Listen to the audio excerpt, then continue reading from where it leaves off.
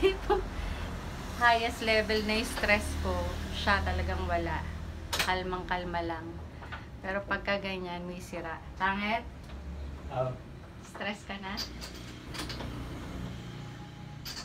Hindi na sumasagot. sa, sa gamit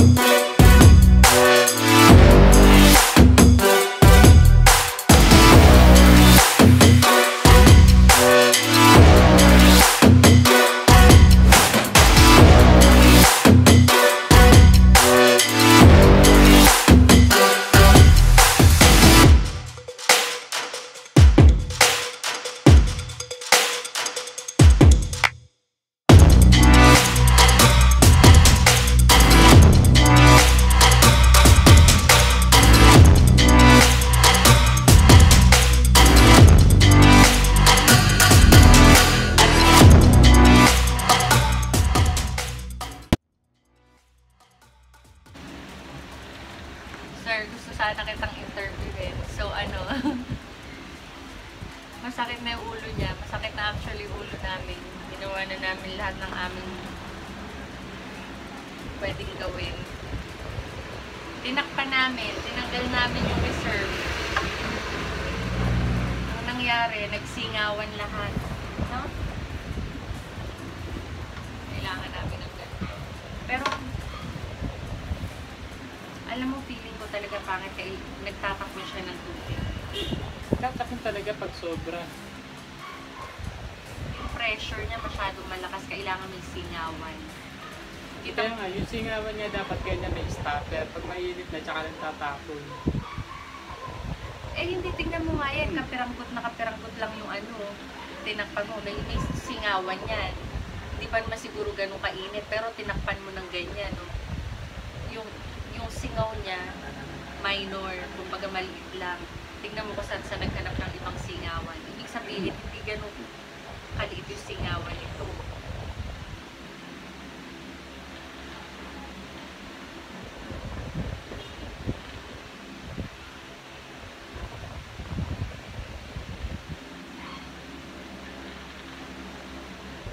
Bakit pati dito sa radiator parang ang lakas ng tagas? Hindi ko dahil sa hose yun o sa ano yun. Sa hose nang, yung hose niya may tagas din. Yung mga kal nakakabit sa likod. Give up. Give up. Naklas lahat ko din yan. Kasi di mo mabukas to, pwede mo pinaklas yung kwetan. Yung gitna, yung dip-dip. Para ma-access mo yung sa radiator, kailangan mo baklasin yung tampakan. Yun yung huling-huling yung babaklasin.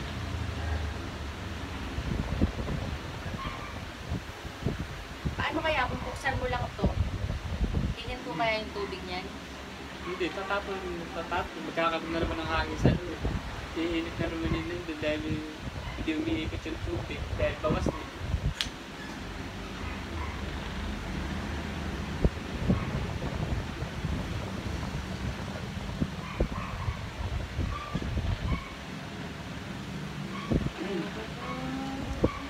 Talagay ko kahit ito ilagay mo. Matakpa mo yung butas nito. Magsisiritan yung mga yan.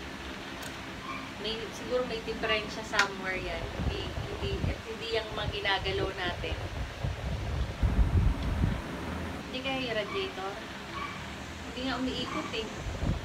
Pinapayakit nga namin yung nakaraan ito yung nakakabit diba? Tumatagas na uli yung tubig dito sa ano. Ba't ngayon hindi umano? Hindi, Eh, kasi nga, malakas yung tagas, malakas eh. ngayon. Eh, ito, mga sobrang init na nung radiator bago tumagas O kaya dito. nga, di ba? Natakpan mo yung, naalis mo yung tagas dito. Hmm. So kung ito nawala yung tagas, tatagas dyan niya sa ilalim. Yan nangyari ngayon. Bakit nagkaroon ng mga tagas bigla yung kayo, ilalim?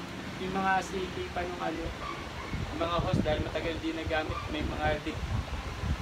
Parang yan, Kasi ito, yung ginawa mo ngayon na tinakpan mo to, parang ito na to eh, nakatakip na siya eh.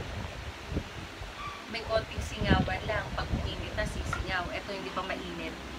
Malamig pa, pero may konting buto. Singaw rin to, ayan.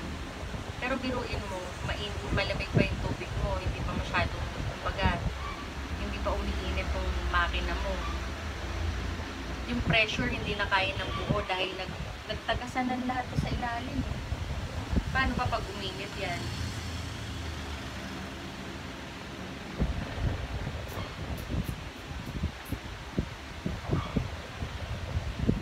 Tumatagas kung hindi ko alam kung sa hose ba o sa radiator yan. Tagal na natin pinagawa yung radiator. Baka wala ng warranty yan. Eh, sila naman ang gumawa eh. Baka pwede naman kung ano yun. Pero nung nakaraan, sabi mo, wala yan, di ba? Kasi may butas dito. No, walang, may, may tumagas dito. walang masyado. Kasabay, kasabay yung tagas niya. Kaya akala namin galing lang dito sa hose. sabi ko sa'yo, baka sira yung radiator mo. Kaya gano'n.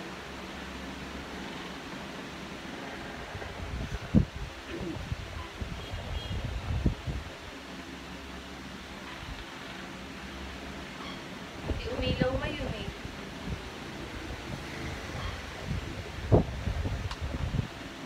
Mo yung itsura mo.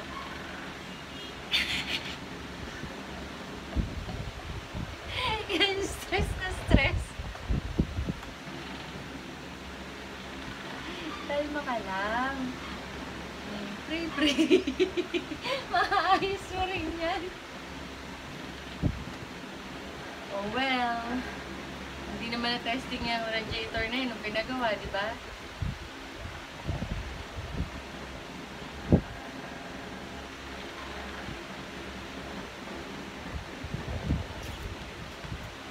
ano, magbabaklas ba o bayaan mo na muna ulit?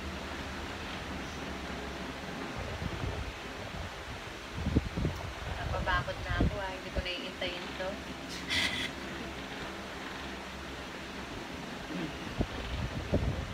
Sayang lang yung mga ginastos natin. Eh, ikaw eh. Eh, Hindi, nandiyan pa naman eh. Kailangan natin Nandiyan- i-testing. Nandiyan pa naman eh. Baka may ibang sira lang na kailangan mo ipagawa ulit. Pindutin mo lang.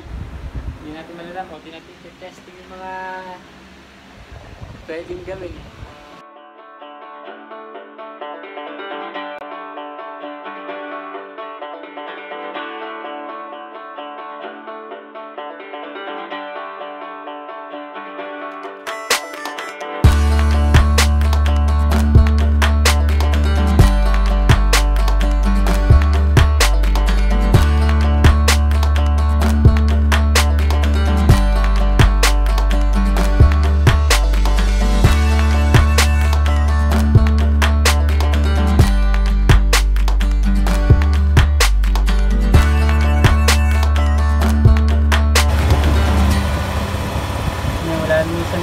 dito lang sa part na to talaga yung malakas.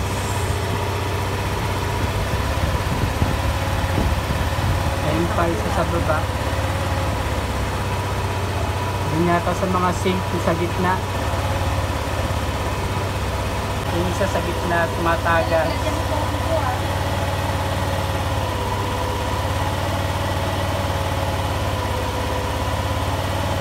Pangatlong sink. Baba, meron yung tagas. Ngayon pa lang siya na-testing. Magmula nung pinabit, ay magmula nung binili.